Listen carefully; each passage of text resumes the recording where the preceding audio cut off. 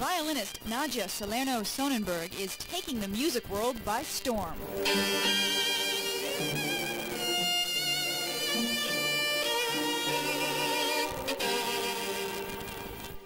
Here at the Dade County Auditorium, Sonnenberg is rehearsing with the Philharmonic Orchestra of Florida.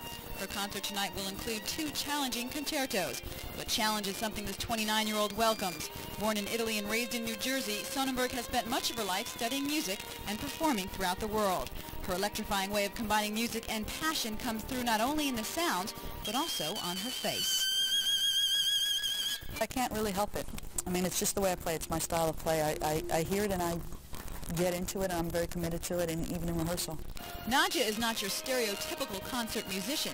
Performing the Bruch Violin Concerto, she wears an unconventional blue jean sneakers and Hawaiian shirt. She's also a three-pack-a-day smoker and hits a mean fastball while playing her favorite sport, baseball. She says she respects the traditions and disciplines of classical music, but she also likes to have fun. If I wear something that's not exactly conventional or what women wore 40 years ago, this doesn't mean that I'm not completely serious about what I'm doing or, and not enjoying my music. And in that way, classical music has to um, get get with it a little bit. And yes, Nadja does enjoy her work. I saw uh, tears coming out of your eyes. I mean, you really feel... Uh, no, that was a contact problem, but thanks.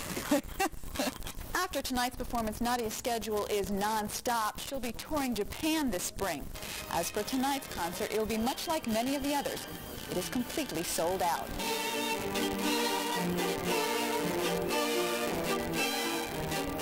In Miami, Lisa Petrillo, Channel 10 Eyewitness News.